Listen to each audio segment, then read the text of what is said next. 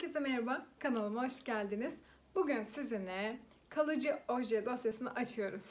Evde kalıcı oje yapabilir miyim? Ee, ne tür malzemeler almam lazım? Kaç tane malzeme almam lazım? Ve e, evde yapılabilir bir şey mi aslında kalıcı oje? Evet pandemiyle birlikte hepimiz evin içine girdik ve birçok işimizi kendimiz yapmaya başladık. Ben özünde hep böyleydim. E, çok fazla kuaföre gitmem. İşte mümkün mertebe birçok şeyi kendim yapabilirim. E, evde kendim yapabiliyordum ama geçen sene eve taşındıktan sonra tırnaklarım aşırı derecede yıprandı. Hepsi kırıldı. Kökünden kökünden kırıldı. Ve ben de dedim ki ya ben bunu denemek istiyorum. Bir önce jel tırnak, e, akrilik tırnak. Sonrasında da kalıcı ojeye geçtim. Tabii ki tırnak uzuyor ve uzadıkça kırılmıyor. Kırılmadığı için de e, artık jel tırnak yerine kalıcı oje yaptırabiliyorsunuz. Evet bir kısımda şöyle söylüyor. E, işte kalıcı oje ya da jel tırnak tırnak yapımı çok bozdu. İşte e, arkasından tırnaklarım çok inceldi ve hep kırılmalar başladı. İşte felaketle sonuçlandı falan diyenler var. Peki benim maceram nasıl başladı? İlk önce dediğim gibi jel tırnak yaptırdım. O zaman tırnaklarımı çok beğenmiştim. Hem uzun hem jel tırnak böyle biraz akrilik tırnak biraz sert ve hakikaten çok kolay kolay öyle yıpranıp kırılabilecek bir şey değil. Ama tabii ki bu tırnakları normal oje gibi değil bir aya yakın kullanabiliyorsunuz. 15 gün sonra böyle uzamaya başlıyor. Artık görüntüsü değişmeye başlıyor ama bir aya kadar da kullanılabiliyor. Ve uzun tırnaksa bir yere çarpma sonucu ya dikkat etmeden işte mesela yatak çarşaflarını değiştirirken falan kırılabiliyor tabii ki. Ve tırnak kökünden de kırılabilir çünkü çok sert bir şey o. Ee, ama bir gittim, iki gittim, üç gittim derken neredeyse geçen seneden beri bu e, kalıcı oje işine tamamıyla sardım diyebilirim. İlk gittiğim zamanlar işte 280 TL, ondan sonra 250 TL, 200 TL'nin altında hiç vermiyordum. Ve tabii ki ayda bir gidiyorsunuz ya da 3 haftada bir gidiyorsunuz. Da ciddi bir rakam aslında bakarsanız. Yani bakım için sadece tırnak bakımı için ayırabileceğiz ki ben ayaklarımı o dönem yaptırmıyordum. Sadece ellerim için gitmeme rağmen bence ciddi bir rakam. Arkasından sadece kalıcı ojeyi başka bir yere yaptırmaya başladım. O 70-80 lirayı yapıyordu. Ama tabii ki her seferinde birisine bağımlı olmam gerekiyordu. YouTube'da bir kişi de bir influencer'da gördüm ve e, evde denemişti. Aslında yapılabilir hem de fiyat olarak malzemeler o kadar da pahalı değil demişti. Böyle basit malzemelerle evde kendi e, kalıcı ojenizi yapabilirsiniz. Orada benim aklıma düştü ve dedim ki ben bunu yaparım. Ya da en azından denerim. Yani bir kereliğe gittiğim parayı malzemelere veririm ya da bir iki kerelik neyse. Ama ondan sonra hep kendim yapabilirim kalıcı ojeyi. Ve böylelikle ma- macera başladı diyebilirim. İlk seferinde yaptım ve o gün bugündür artık kendim her türlü kalıcı ojeyi yapabiliyorum diyebilirim. Yani böyle çok ekstrem şeyler denemedim. Ama beğendiğim tırnakları kendim yapmaya başladım. Şimdi size son yaptığım ojeyi göstereceğim. Şöyle yaklaştırayım biraz. Evet. Belki şöyle de görünebilir. Burada bir tane panda var. Şöyle. Biraz da uzak tutmam lazım. Evet. Bu şekilde. Mavi frenç yaptım. Bir tane arı. Bir tane de panda kondurdum. Bu şekilde son yaptığım kalıcı oje bu. Ben bunu yaklaşık artık kendim yapabildiğim için istersem iki haftada çıkarıyorum, istersem üç haftada çıkarıyorum. İlk önce yapımından konuşalım, sonraki haftalarda da çıkarmaktan konuşalım. Çünkü her biri birer e, mesele. Çünkü hep çıkarırken şunu söylemişler işte tırnak yapım mahvoldu. Hayır benim tam tersine artık bunların hepsi kendi tırnağım. Şöyle göstereyim. Bunların hepsi kendi tırnağım ve gayet de sağlıklı uzuyorlar. Çok çok nadir kırılması. Yani neredeyse hiç kırılma yaşamıyorum diyebilirim. Öyle tırnaklarım inceldi diye de bir şey yok. Burada extra strong base falan kullanmadım. Yani normal base coat kullanıyorum. Ee, öyle yani çok ince bir yapısı yok. Ama akrilik yaptırdığımda ve sürekli o makineyle aldıklarında bence çok incelmişti. Baya baya kağıt gibi kalmıştı. Ama artık kendim yaparken bence daha sağlıklı ve incitmeden kendi yapımı tanıdım, tırnak yapımı tanıdım ve ona göre e, kalıcı oje yapabiliyorum. Şimdi kalıcı oje yapmak için gerekli olan bazı malzemeler var. Bunların başında tabii ki ultraviyole e, bir kurutucu. Ben e, Mara'nınkini almıştım. O dönem e, bu influencer'ın tavsiye ettiği ya da denediği marka buydu. Hakikaten de çok uygun. Fiyatını şu an hatırlamıyorum ama e, 160-170 civarında mıydı? Öyle bir şeydi. Şimdi açayım içine. Size bunu göstereyim. Ben sanırım bununla yani bir 4 ayı geçti herhalde. 4-5 kez uyguladım. Şöyle çok çok e, böyle belki de iyi bir şey değildir ama bana gayet yeterli geliyor. Şöyle bir, bir USB giriş e, şeklinde kablos ucu var. Bunu ben normal e, kendi telefon şarj aletimin adaptörüne takarak açabiliyorum. Burada 60 90 120 saniye kurutma süreleri var. İçinden başka ne çıkıyor? İçinden başka şöyle bir e, kalıcı oje çıkarıcı mendil çıkıyor. Ben bunu denedim bir iki tanesi zaten kurumuştu ve ya bununla kalıcı oje çıkmaz yani net. İçinden bir tane de benimki white'tı sanırım. Ee, şöyle 02'si.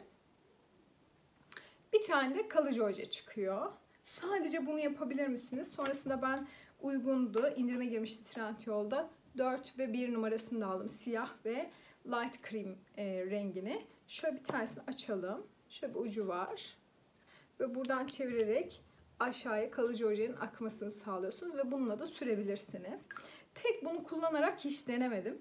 Ee, çok sağlıklı olmayabilir. Sadece kalıcı ojeyi süreyim, kurutayım. Bu kadarla çok verim alabileceğinizi ben düşünmüyorum. Ben böyle hiç kullanmadım açıkçası. Birinci almanız gereken bence bir UV kurutucu çünkü şart. Bunsuz olmaz. İlk olarak bir tane base coat'a ihtiyacınız var. Bunun öncesinde primer alabilirsiniz. Ben primer'ı almamışım. E, ama e, bundan sonraki sepetlerimi ekleyeceğim. İlk primer'ı sürüyorsunuz çünkü. Arkasından base coat, kalıcı oje ve top coat sürüyorsunuz. Base coat olarak ben ilk rutin bir tane Base Gel Polish TNL'nin bir tane küçük hem deneyeyim çünkü yapıp yapamayacağım bilmediğim için böyle bir base kotunu aldım. İlk önce bunu kullanıyorsunuz. Sonrasından color base'ini aldım. Artık sadece bunu uygulayarak bir alt taban yani kalıcı hoca uygulamadan sadece bu base'i kullanabiliyorum. Ben tabii ki iki numarasını istedim. Kalkıp bana 15 numarasını göndermişler. Neyse dedim yani bu da e, pembe. Şu anki altındaki pembelik rengi bundan geliyor. Bu da bir base coat. Arkasından bu base uyguladıktan sonra bir kalıcı oje uygulamanız lazım. İşte Mara'nın e, kalıcı ojelerini uygulayabilirsiniz içinden çıkan ya da kendiniz bir şeyler alabilirsiniz kalıcı oje olarak. Ben renk renk elimde birkaç kalıcı oje olsun istedim ve ana renklerden istedim. Çünkü kalıcı ojede şöyle bir şey var. Karıştırabiliyorsunuz. Hemen donmuyor. O yüzden kendim renkleri oluşturabilirim diye bir tane kırmızı, bir tane sarı, bir tane de mavisini aldım. Mesela bu maviyi, ucundaki maviyi beyazla karıştırarak yaptım. O yüzden belki birkaç istediğiniz e, rengi alabilirsiniz. Ama tabii ki ilerleyen zamanlarda. En son üstüne de e, top coat sürmeniz lazım. Ben ilk alırken anlamamışım. Velvet'ini almışım şu an. Velvet aslında mat yapıyormuş. Tabii ki ilk aldım, ilk denemelerim hep mat oldu. Iron top coat'unu aldım. O da şu an gördüğünüz bu pürüzsüz ve parlak yüzeyi yapıyor ve daha sert ve dayanıklı yapıyor. Ojenin daha pürüzsüz görünmesini sağlıyor. Bu ürünler almanız gereken ürünler arasında. Şimdi gelelim. Ben e, kalıcı ojeyi yapmadan önce tırnağımı buna hazırlamam gerekiyor. Elimde birkaç malzeme olması lazım. Bunlar neler? Öncelikli olarak bir kere tırnağımı hazırlamam lazım. Kuru bir manikür yapmam lazım. Islak manikürü önermiyorlar. O yüzden çünkü e, ojenin tutunması ve daha kalıcı olabilmesi için ıslak olmaması lazım. O yüzden suya bandırıp hani bekletip de suyu iyice tırnaklarını çektiği bir manikür şeklini önermiyorlar. Nasıl yapıyorum? Şöyle bir alet var biliyor musunuz? Muhakkak yani belki de birçok kişinin evinde de vardır. Ben kalıcı oje işini başladıktan sonra aldım. Markasını da söyleyeyim size. La Perla. Yani gayet de güzel. Kullanışlı. Çok ne aşırı pahalıydı ne çok ucuzdu. Şöyle bir şey. Şu kısmıyla tırnaklarımızı itiyoruz. Bununla da oradaki fazlalıkları alıyoruz şöyle. Ve e, biraz daha pürüzsüz ve o e, böyle küçük illerin daha çok böyle kaldırılmasını sağlıyoruz. Ben arkasından Signature Select maskem vardı benim artistlerine. Bu parlatıcı maske biliyorsunuz. Daha çok şöyle tanecikli bir yapısı var. Ve ben onun kenarlarına sürüyorum. Kalan birçok küçük orada gidiyor. Yıkadıktan sonra kalan yine küçük işte parçaları da böyle bir makasla alıyorum. Ve arkasından benim tırnağım törpülemeye hazır oluyor. Törpü birkaç tane törpü aldım. Bil, bilemedim ilk önce. İlk aldığımı şunu almışım. 80'e 120'ye almışım. Bunun bu tarafı aşırı hmm, pürtüklü. Yani çok bununla törpülemek tırnağı mahveder herhalde. Arkasından %180'i aldım. Bunun bu tarafı biraz daha belki ayak tırnaklarınız için kullanılabilir. Burası da daha düz. Sonrasında da 240'ı 240'ını aldım. Bu da tırnak yüzeyi için. Şimdi tırnak yüzeyinizin üstündeki o yağlı tabakayı almanız lazım.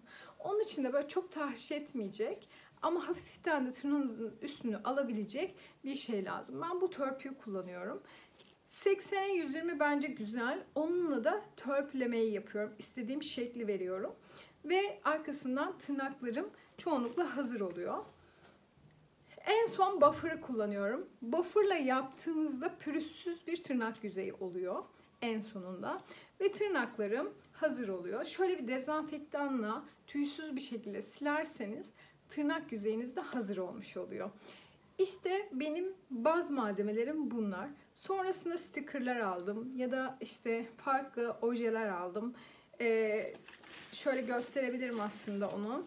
Şöyle bir fırça seti var yine TNL'nin. İçinde bir sürü fırçalar var. Hatta sonra kırtasiyeden aldım. Mesela şöyle bir e, resim fırçası aslında.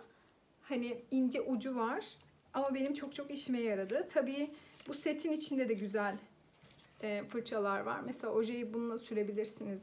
Uygulamaları bunlarla yapabilirsiniz. İçinde birçok fırça var.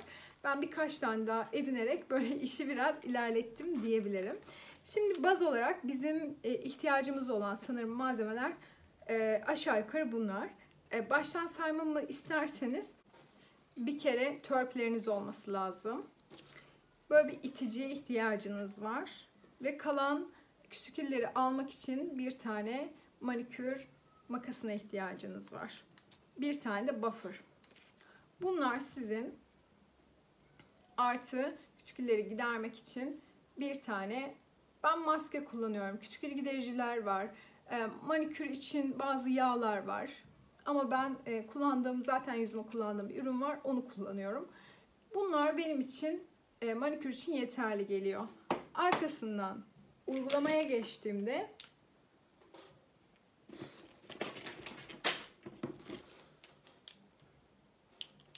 Arkasına uygulamaya geçtiğimde primer, base coat ve top coat'a ihtiyacım var. Bunlar önce tırnağı hazırlar, base coat tabanını yapar, top coat da en üst pürüzsüz görüntüsünü yapar. Ben bunların küçük boylarını aldım ki öncelikle bir deneyeyim diye. Arkasından büyük boyunu aldım. Yani daha ekonomik olsun istiyorsanız küçük boylarıyla başlayabilirsiniz. Kalıcı oje birkaç tane elinizde olabilir renk olarak. Mağaranın kilerde çok uygulamaya çok müsait ve gayet de kullanışlı. Ben kaç seferdir sadece onları kullanıyorum. Ve kurutmak için de tabii ki bir tane ultraviyole lambaya ihtiyacınız var. İşte kalıcı oje uygulamak aslında bu kadar basit. Tırnağı kuru olarak hazırlamak, bir bas sürmek, kalıcı ojeyi sürmek ve top kotla bu işi bitirmek. Ee, evde uygulanabilir bir şeymiş. Çıkarma konusunu da yine bence bir sonraki hafta uygulamalı olarak göstereyim. Çıkarma konusu o kadar abartılan değil. Bir solüsyonu var. Yani çıkarıcı bir asetonu var diyeyim.